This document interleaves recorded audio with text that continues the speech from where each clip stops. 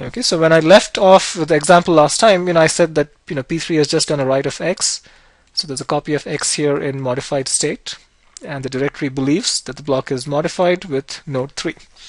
Okay, now let's walk through a few more examples and, and, and a different and, and a few other different cases. Now let's say that you know node 4 wants to do a read of X. It has a miss in its cache because the block is now in invalid state. So it sends a request over here saying I'm trying to do a read of X. The directory reads out uh, the copy of X sitting here and the directory and it realizes that the block is now in modified state in node 3, right? So, you know, node 4 had no idea that this was going on. All it knew was that, you know, X's directory can be found in node 3, so that's where it sends its initial request. And the directory has kept track of the fact that the block is in modified state in node 3, and only node 3 can provide the data. So it forwards the request to node 3. So this is a forward saying that somebody's trying to do a read of X. Okay, and so you know this cache copy has to be downgraded from modified to shared. Okay, and you now provide a copy of X back to the directory. Okay, and this allows you to update the copy of X over here. So this is when the write back happens. So similar to the snooping based protocol, every time a block goes from modified to shared, that's when you also update your memory copy because from now on the memory copy is responsible for providing a copy of the data. Okay, so you update the copy of X in main memory and then you send back a copy of X to the requester so you place X over here in shared state.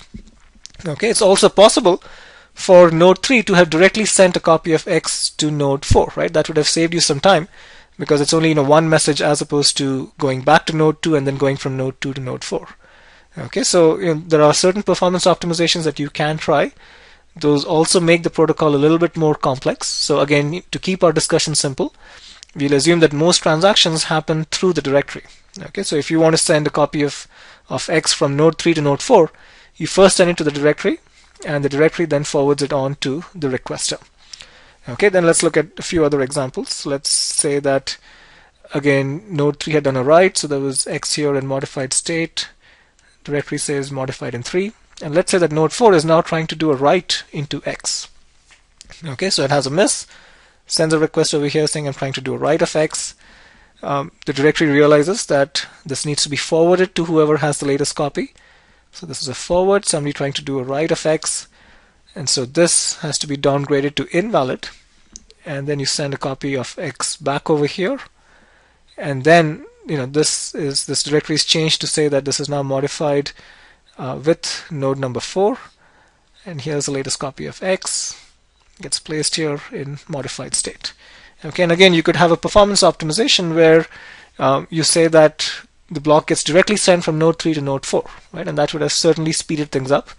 But I'm going to try and stay consistent in this class so that I can have uh, assignment problems that are easier to correct. So I'm going to make sure that all transactions again go through the directory. Okay?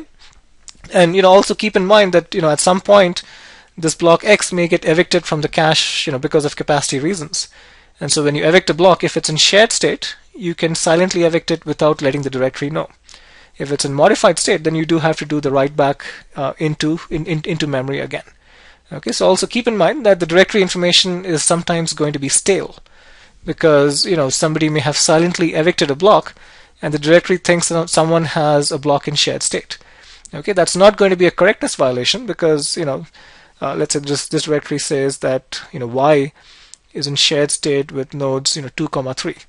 If someone tries to do a write to y, you're going to look at this list of sharers and send out invalidation messages.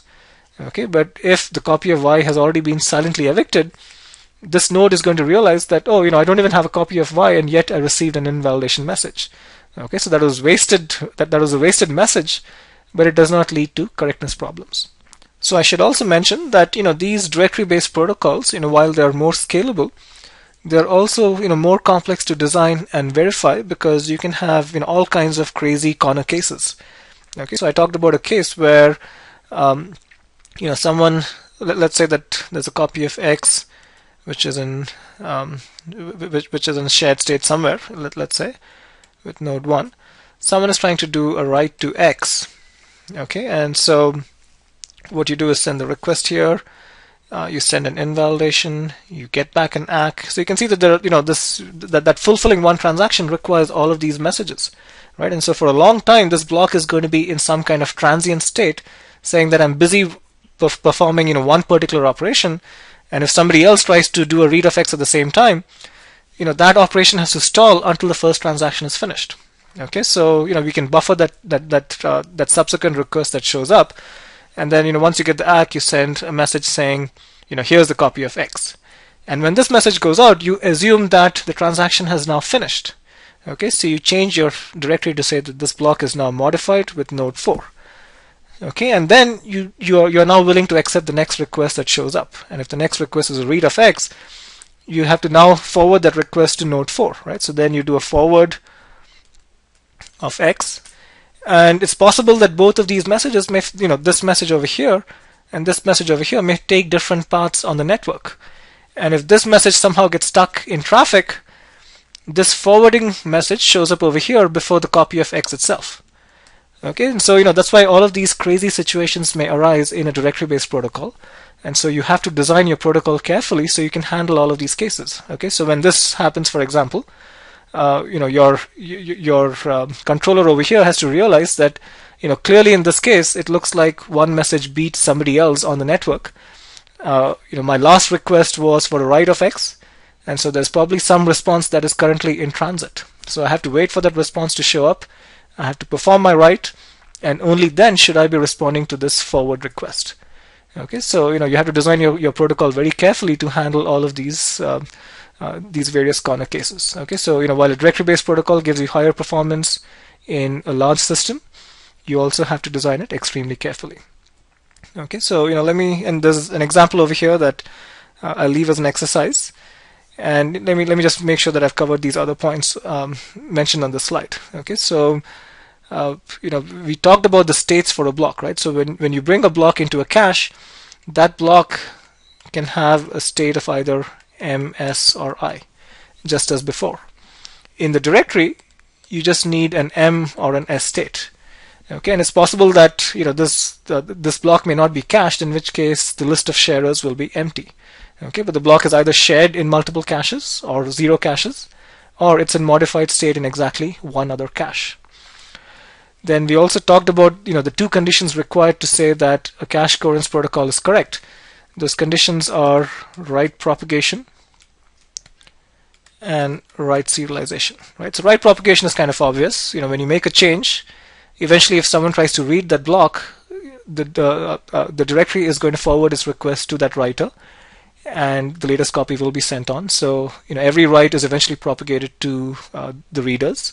Let's look at the write serialization property. Okay, so let's go back to this figure again. Let me clear it out. Okay, so let's say that, you know, here's a directory. Um, let's say it's currently uncached this one is trying to do a write to X, this one is trying to do a write to X at exactly the same time. Okay, so both are going to send a message to the directory. It's both possible that both messages arrive at nearly the same time, but if you assume that there's a single network port, you know, one of them is going to win the competition and is going to show up at the directory before the other one. So let's say that node 1 wins the competition. So the directory is going to say this is now modified with node 1, sends a copy of X over here, then it th th then it processes the next request, which says, uh, you know, I'm also trying to do a write to X. The directory says it's, it's currently modified state with node 1, so it forwards the request here. Then the data gets sent here and then back to node 4, right? So in this case, based on who wins the competition to the directory, uh, you know, that's the order in which the writes are going to be performed. Okay, and everyone is going to see writes in exactly the same order. Because if a subsequent read shows up, it's going to get its data from node 4. Okay, so it's going to be as if the updates by node 1 happen first, followed by node 4, and no one else is going to see writes in an opposite order. Okay, so this protocol does fulfill uh, the write serialization condition that I mentioned over here. Again, you know, this table just goes through more details. It just it just clarifies what happens uh, at the directory for every single case. So if the block is uncached and the directory receives a read miss, then it has to send the data, make the block shared, if it receives a write miss, it has to send the data, make the block exclusive or modified. And similarly, I've covered you know what happens with each of these other cases as well.